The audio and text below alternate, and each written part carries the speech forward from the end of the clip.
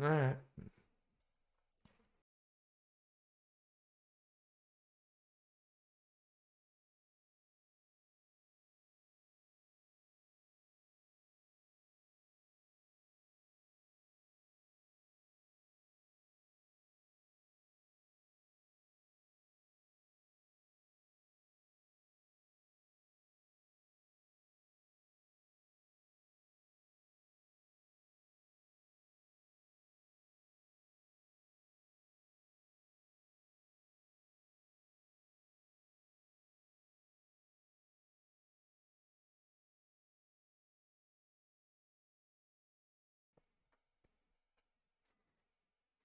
Hello, everybody, and welcome to the Nerds at Large reaction to the Sony PlayStation State of Play October 27th.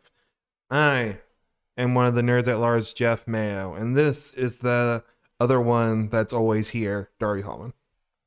Can't get rid of me. Not that easy. No, I tried. M- Maybe the poison will kick in eventually. Mm. But Darby, State of Plays. It is happening. Is it is it time for video games to finally be publicly executed? We're gonna we're gonna- Yeah, yeah, yeah. All video games are banned. Yeah, yeah. The, the state of play is the state of video games here, and yeah, th- they will be banned. No problem. It's finally happening. And they've had it too good for too long, It's true. if we're being honest. Yeah. What are you expecting from this here Vidmo game thing?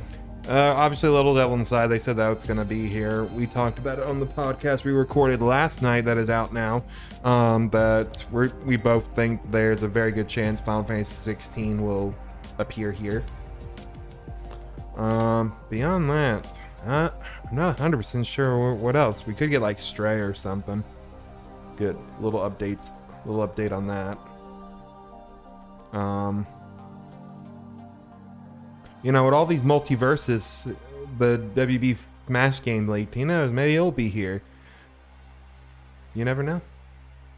They seem to like having WB stuff at Sony th- Sony things. Yeah. Um. I guess we. I mean, we don't really. We don't. I mean, it, it does seem like everything, all this stuff coming out right now makes you think it's soon, but the announcement of that game is not necessarily imminent, just True. because we're seeing leaks for it. You know, it could still be. Announcement could still be A ways away. a ways away, or it could be immediate. Who knows? Who knows? Um, yeah. Uh, yeah, outside of Little Devil and Psycho, obviously. No, but uh, I, I really do think Final Fantasy 16 will probably be here. I'm not going to be like absolutely flabbergasted if it's not, but I do Yeah. expect it to be here. Um, but if not that, then probably one other big-ish Hogwarts Legacy maybe. third party. Yeah, that's a possibility. I'm, I'm just trying to think of the big third party games that they've kind of been.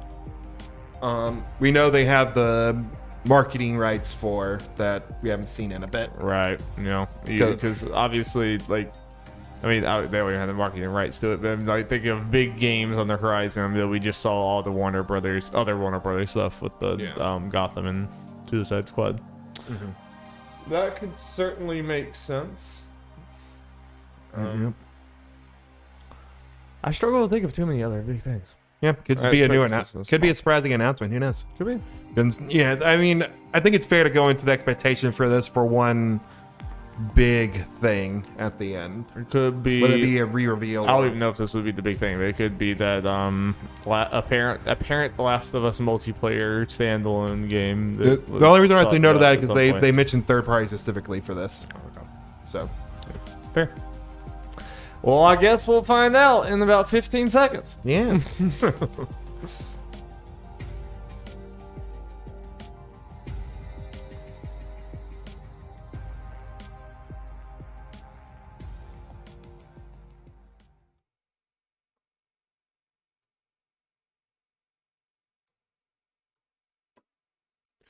M-rated games. Uh, look, that console no one can buy.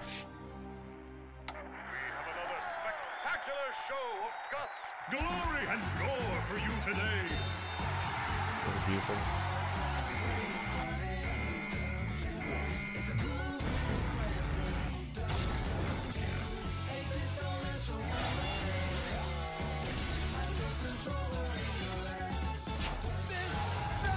Destroyer Rebels.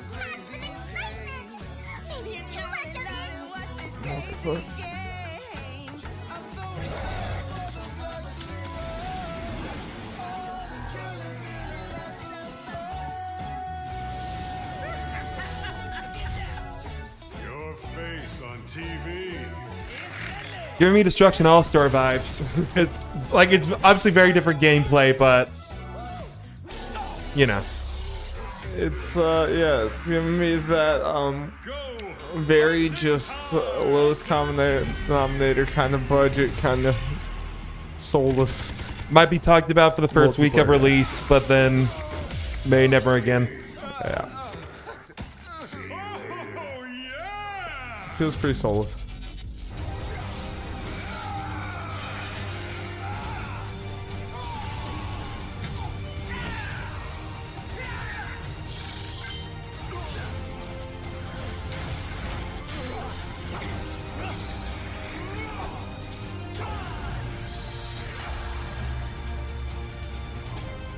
It's in your game. Something about the font. Got it, senpai. Did you say senpai? I believe so. This is actually the new Suda game. Excellent. Deathverse. Let it die. Would you, uh, would you just let it die? Yep. That was your first look at Deathverse. Let It Die. The coming sequel to PS4 Deathloop. and PS5 next year. Now, let's listen in on a recording session with We Are OFK. It was the boy band game, right? War. Yeah. We've seen it War several times. sucks. In a It never changes. war, Nope, it sucks, where Jeff. War is um just doesn't have anything to do with politics or race or imperialism. Out there, we look to each other and to our thick arms. You done? And you're like, how did they get them that thick? Is this like an alternate reality where arms are just that thick, or are they robot arms? Our True. last hope Let's do it. That is is what I wonder arms. about this stick Luca, arms. focus. Okay, okay, sorry, for real. PlayStation promo time. Yep. I'm just supposed to introduce our band and the game about our band, right? Ooh, can we do something fun with it? Like, can we be like, why is it called State of Play? What are we, the president? The what are we, the We've talked about these jokes. Hey, you. Hi, we're still driving. Jay, I heard back from the mix engineer, and she's cool with getting song stems on Sunday. Itsu? How's the PlayStation blog post going? Are hashtags too much? I, want to reach more people, but I don't think I trust people who use hashtags. Ugh, Itsu, hmm. you're the best at this. I'm proud of you. I just do things. What's with the Carter, ghost what you cat? working on? It's just a It's a video game, Jeff. filter I cooked up for You can't have a video game Can without a ghost cat. sound That's like the a law. demon? Okay. Uh, give me one more run through and we'll take a proper break, yeah? Okay, hi. We Are OFK is a new music biopic game about us, the indie pop group OFK. It's a five episode series about how we started the band here in Los Angeles and how so far we have not screwed it up. You get dialogue choices and texting and flirting, and each episode lets you play an interactive can music date these video boys, of Jeff. a new song from our debut oh. EP. That's five episodes, five songs. And if you join our mailing list today, you get a life size cutout of our whole band wearing nothing but PlayStation 5 DualSense controllers. Oh, God. No. Nope. Okay, the cutout is still TBD, but We Are OFK is coming to PlayStation 5 and PlayStation 4 in 2022. The future. The future, thick arms. We are OFK. Only the thickest bye. arms in, around you. here. Up We next, will the not. team at Young Horses shares Well, a big update. Speaking of thick arms, thick hot dog arms. Bunger bunger. Finally, the best character's back. Character of the. Big Bunger. He got hot arms. Giant bug snacks. Gosh, we might be witnessing a prehistoric species somehow preserved at the bottom of the ocean. We need to form an expedition. Uh, bro? Has anybody seen my hat? Snacks with hats? That's adorable. They got hats now. That's all you Oh, need. yep. Four, that'll be forty dollars, please.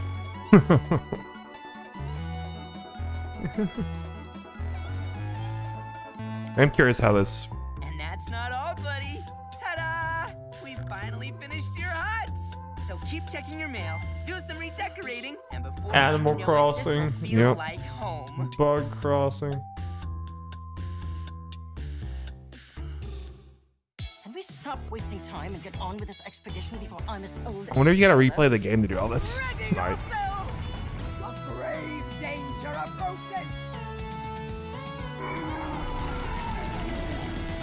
Again, the way to play games is to wait like a year or two after release, and then you can play the full, actual, like better version, like uh, Persona 5 Royal. Or like, that's a- if you're smart, that's how you Big play. free update. Let's go. Hey, Five Nights at Freddy's fans. We've got a security breach.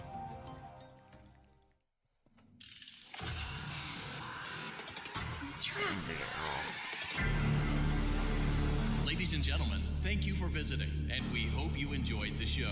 Freddy and the gang are pretty tired, but they'll be back again next week after a few days of scheduled maintenance.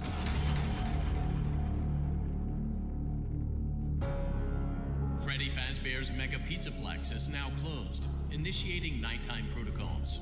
No, no! Wait, I'm still here! People? Human being?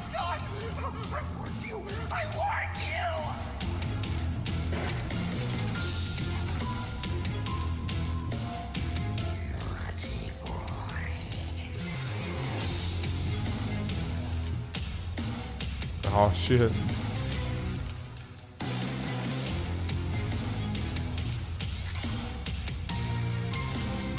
You should be able to escape when the security doors reopen at 6 a.m.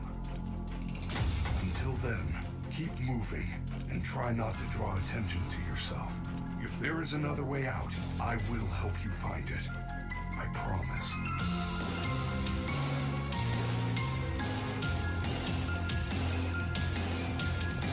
Rocks and wool.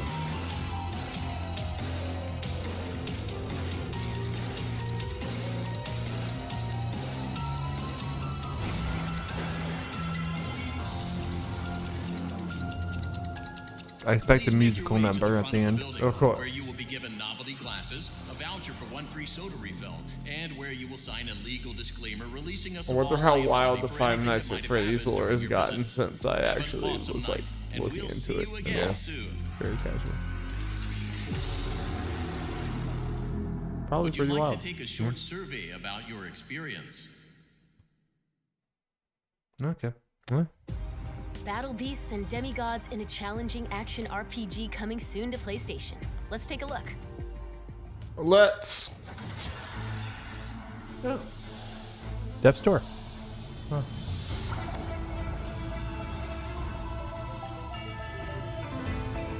Bird souls. Crow souls. Yes.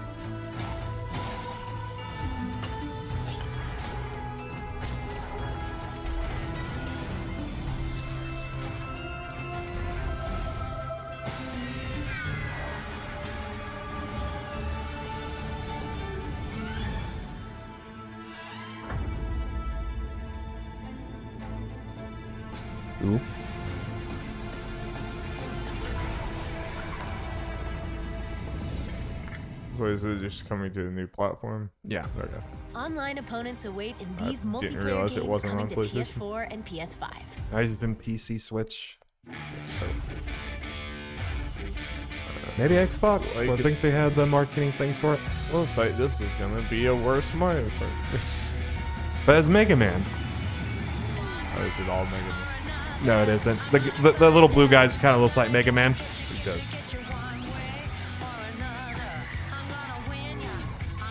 Remix, remix, remix.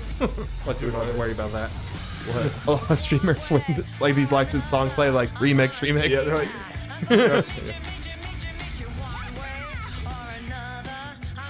On the even remix, I wonder if it's too close. Yep.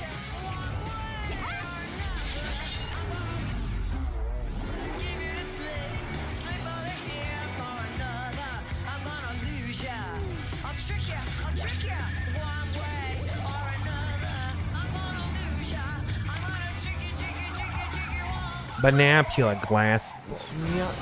Take that, Mario Kart. Eat your heart out.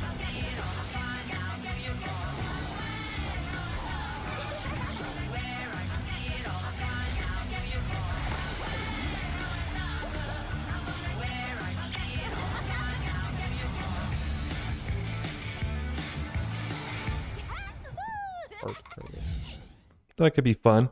Never gonna touch it, but you know. Oh no. expectations. Oh fuck.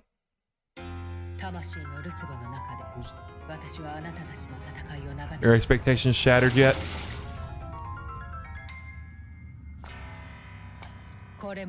Yep, shattered. No. You know what this is yet? No. King of Fighters.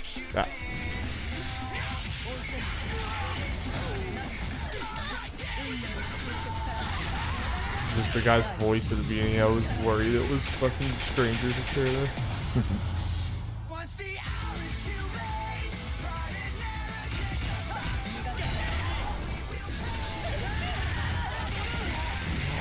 is racing. Max like, oh fuck, oh fuck. Is it a beta that's now? That the announcement? Yeah, we're getting maybe close to the point where if we don't um, see Little Devil inside, that's the beginning. We're getting close to that territory. Yeah, it could be.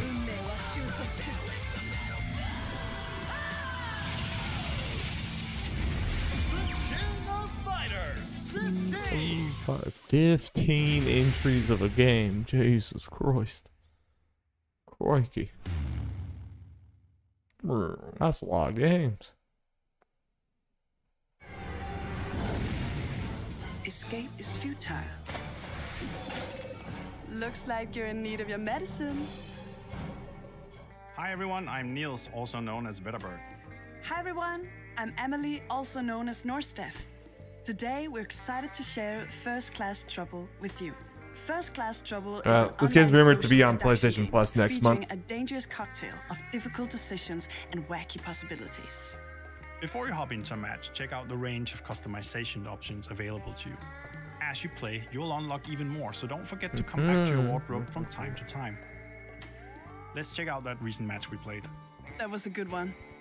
When the round begins, you'll be assigned a secret role of either a resident or a personoid. So this is me, I played as a resident in this game, and my goal was to reach Kane at the heart of the ISS Alicea. And I got to play as a personoid. So my game was all about deception and traps, stopping the residents at all costs. Great outfit that you have on there. Thank you. The most important question is who can you trust? Yeah, exactly, and I thought you and I were working together. I know, right? Sometimes going with your gut doesn't work out. Sorry, Dave. I don't have that problem. You sabotaged the oxygen, well done. When a system is sabotaged or a trap is sprung, this is a good time to start casting doubt on the loyalty of the other residents. Yeah, you had me so convinced. You did such a great job, I even helped you take him out.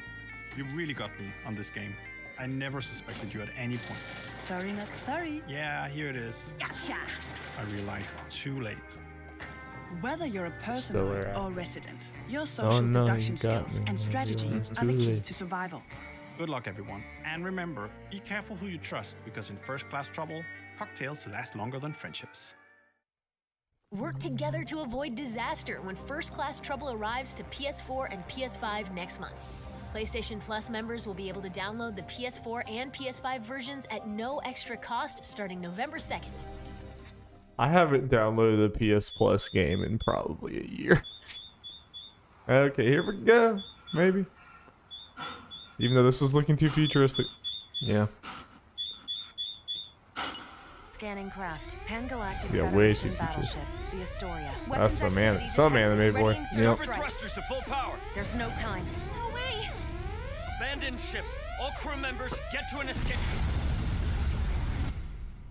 I'm running- How- I'm how many through the- people are pissed? They saw Square. I know. I'm just trying to run through the Square properties to figure out what the fuck it could I be. feel like I should know what this is.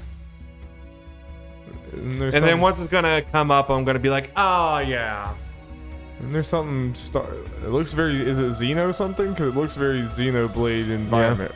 Didn't you? Wasn't there a, a Xeno something remake we were talking Yeah. about? Could, could this be that? Man, that it'd be quite the big change. But it, I mean, I mean, you were, you were saying remake Yeah. when you said that. Were, were they? They weren't talking about that being Bluepoint, right? Someone else, I'm guessing. Are you quite all right?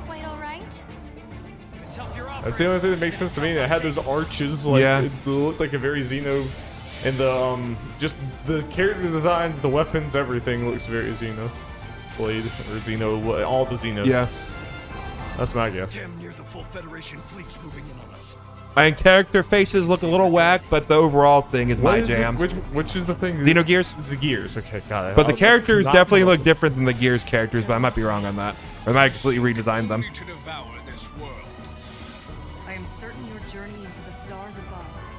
It looks like a Jeff ass game. It's true.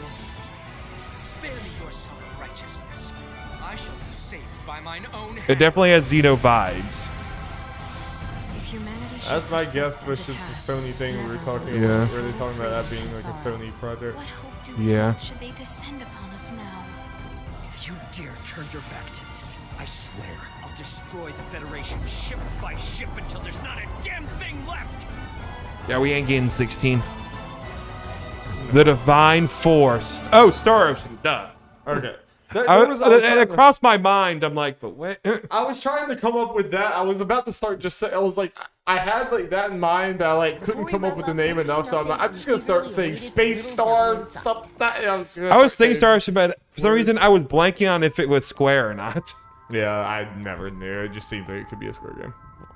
Here's a little devil. Definitely interested. I enjoyed playing Star Ocean when I was young. It looks like Jeff Shet. Again, the character faces could use some work. But Yeah. I mean, it looks way more. I think they made one not too long ago. I mean, this looks Mm-hmm. definitely more ambitious. Thomas the Tank Engine.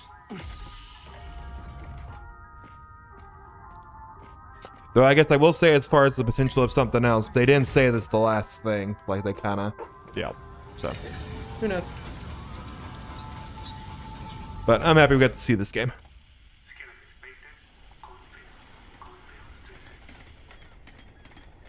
Now, which part of the body is this like in? any other day, Billy sets out on another job. This time to the anus. Of course.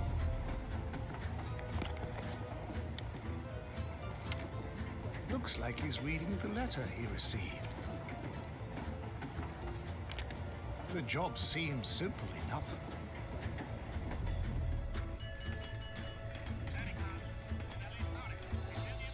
Billy arrives at Cornfield Station. He needs to meet Professor Vincent, who should be nearby. Oh, there's an old lady up ahead. During travel, you can engage with various people.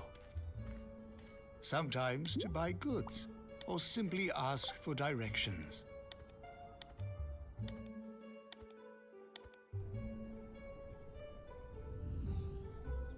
On certain occasions, the crew is available to But travel there's like an together. overworld map, I guess. Yeah.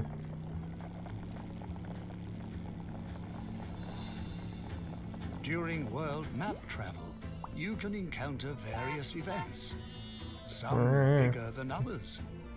In this case, a flock of sheep blocking the road. So we all have flocks of sheep inside our bodies. Yes. That are we are the sheep. Looks like they have arrived near the I mean, we're inside I mean, someone did get a vaccine, so We're inside someone else's body. Yeah, you're right. mansion to I, I'm already a gay frog now. task, Of course. He's greeted by who seems like the owner. The job is to pick up a mysterious artifact and deliver it to Professor Vincent. Looks like it's kept in the mansion's basement, leaving behind the unsettling signs on the wall. Billy enters the basement chamber. Well, it turns out that the job is not going to be so simple after all. Ever since leaving the mansion, strange looking creatures constantly appear. Here he is surrounded by a mob. striking and sticking the blade into enemies to pull and throw them around. Nah. Hmm. During mind now. his travels, Billy needs to resort to his survival instincts and make use of whatever he has to survive.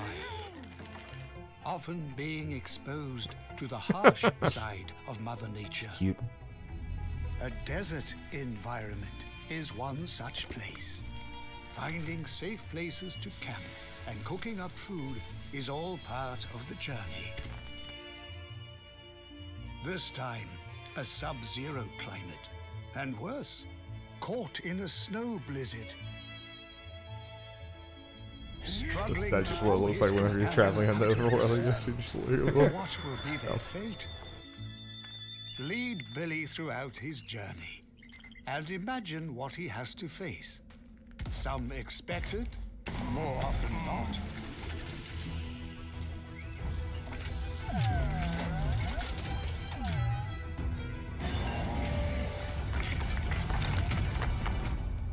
Oh my. He just wanted to be your friend. Welcome to the world of Little Devil Inside.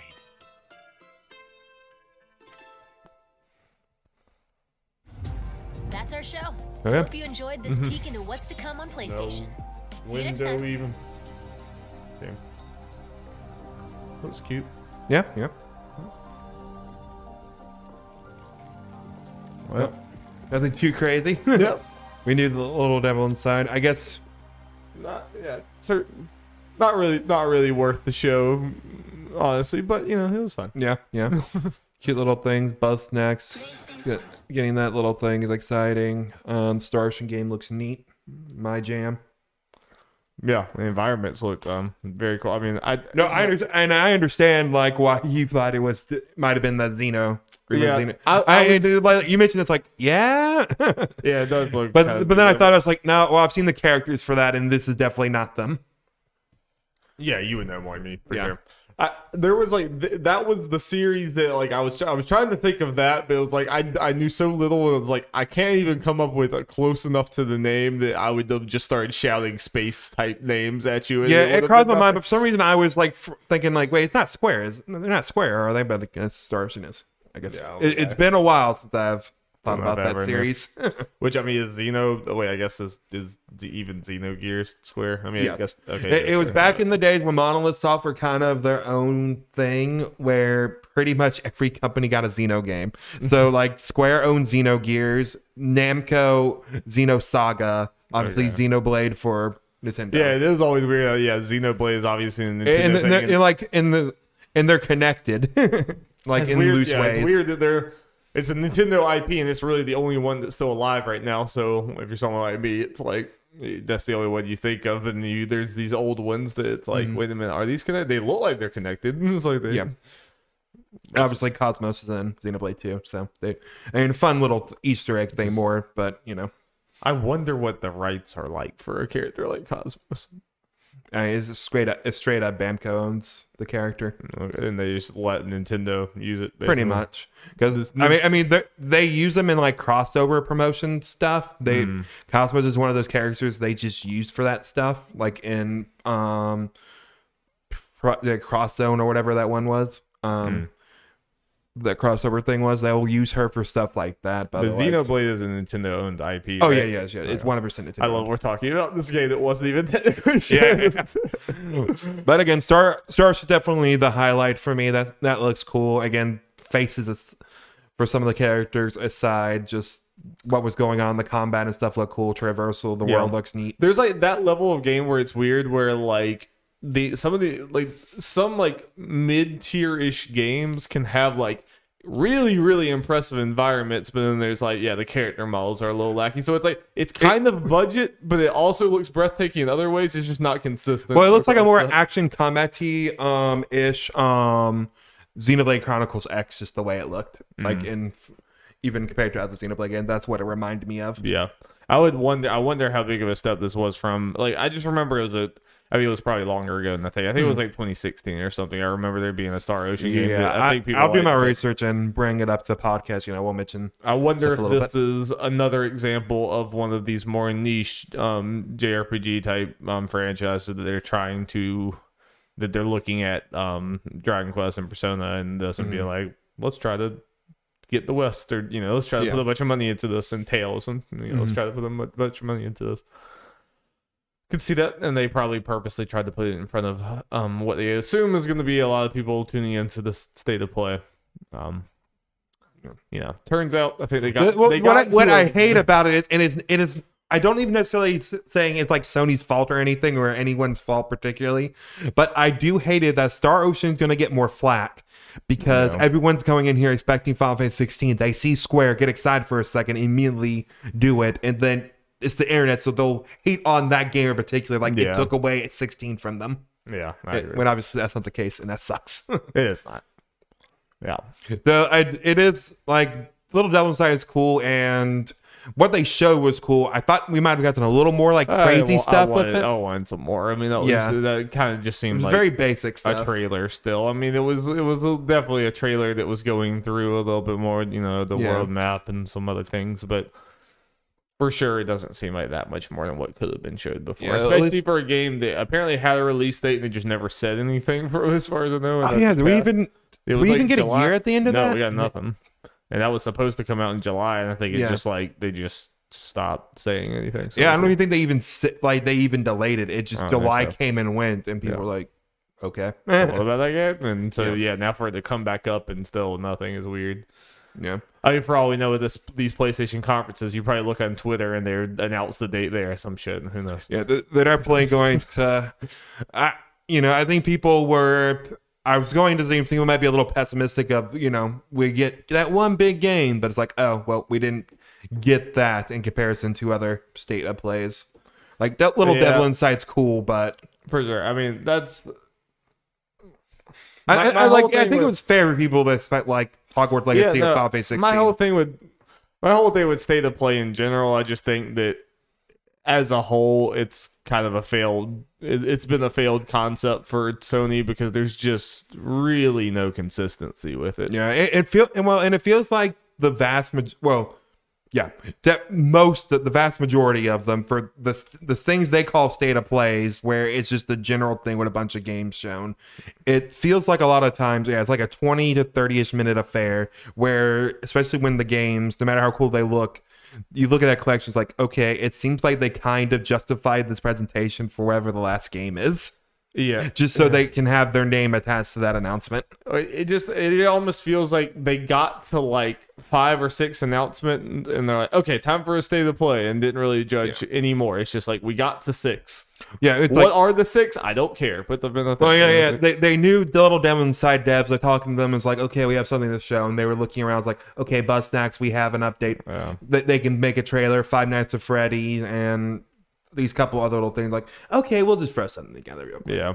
I mean, part of it is me. I think I'm just getting over these small presentations. Like the, the this is the type of thing I would prefer to just see on Twitter and be like, "Oh, okay, cool. Look a little, Mhm. a little update to this thing or whatever."